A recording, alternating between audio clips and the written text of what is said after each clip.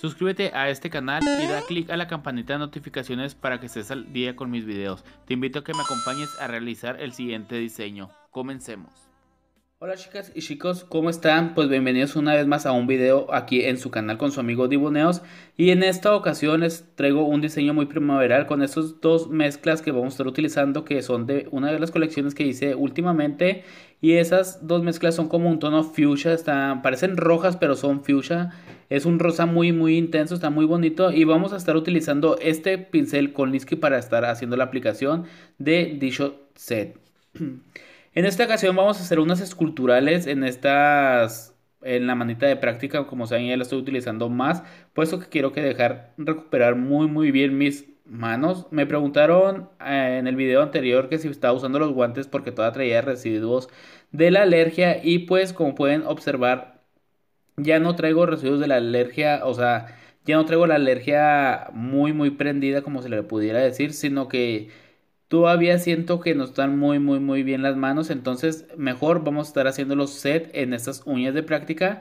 Y aquí como pueden ver vamos a estar poniendo esta perla en el área de borde libre donde se junta la uña, la forma escultural con la uña de, de esta mano de práctica. Vamos a estar llevando este, esta mezcla, como pueden ver hice un corte pero la llevamos hasta el número 9. Estas uñas son extra largas chicas. Yo sé que hay pocas personas, pocas personas que sí se atreverían a usar estas uñas. Si tú eres una de ellas, déjamelo aquí en los comentarios. Pero yo en esta ocasión las quise hacer para, así súper largas para que luciera esta mezcla, para que vean todo lo, toda la decoración que trae.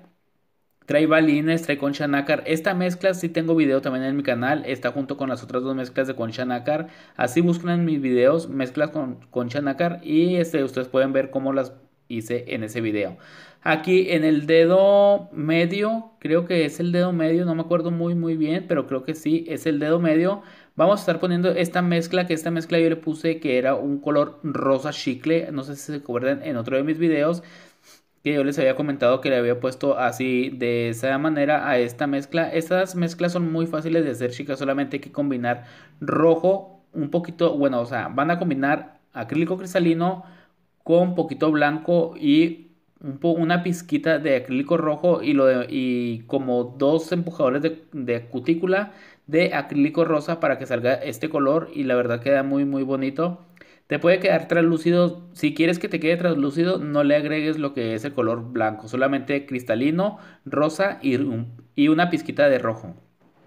Y pues bueno, aquí como pueden ver, estamos estamos poniendo la última perla, bueno, no es la última, es una de las, de las últimas perlas que van aquí en el área de cutícula. Y con la pura punta del pincel la fui difuminando a los lados, la presioné y después la difuminé hacia punta. Aquí en área de punta vamos a estar aplicando lo que es la mezcla nuevamente. Esta mezcla la verdad está muy muy bonita. Es, es el juego o es la compañera de la mezcla que subí en el video anterior, que es la amarilla viene siendo esta roja, esta rosita, la amarillita y no me acuerdo la otra de qué color era. Luego les estaré subiendo un video con la otra mezcla si es que la encuentro. Pero para estárselas mostrando. Y pues como pueden ver aquí solamente pusimos en el área de punta. Esta uña no se las mostré chicas. Esta uña la hice fuera de cámara para no estarme tardando tanto en los diseños. Como saben ustedes que cuando ya usas manito de práctica, pues en lo que acomodas la toma de la cámara y todo eso, se da mucho tiempo y al último tienes que estar adelantando mucho el video o ponerlo a muy, o sea, a la cámara muy rápida y pues a la, a la vez no se llega a apreciar mucho lo que estás haciendo. Entonces por eso yo a veces corto los videos o le quito una o omito algunos pasos para poderles mostrar lo poco, pero mostrárselos bien aquí en los videos. Como pudieron ver, aquí pues encapsulamos y aquí vamos a pasar a limar esta lima es una 150-150 y con esta vamos a retirar faldones como lo están viendo aquí. Vamos a darle lineamiento a estas uñas. La verdad, chicas, batallé bastante para este, limar estas uñas. Puesto que están súper largas. Aquí como pueden ver, pues sí se ven larguitas, pero ya en, en persona, o sea, al rojo vivo como el programa ese, están súper largas, están como que estilo Nurka, entonces, este, pues sí se batallan un poquito más en limar. Y también para encapsular, usas más de tres perlas para encapsular. Así que por eso yo les digo que cuando hagan su set, no se vayan mucho con la finta de hacer la técnica de tres perlas para encapsular, sino que pongan las perlas que sean necesarias y justas para ustedes dejar su encapsulado lo más perfecto.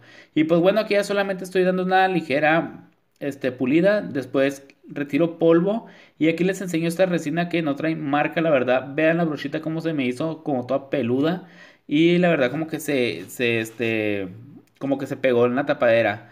Aquí vamos a estar poniendo, vamos a estar decorando esta uña con algún, con algunos tipos de, de estos cristales en diferentes tamaños que es número 8 y es el número 4. Los más chiquititos es el número 4.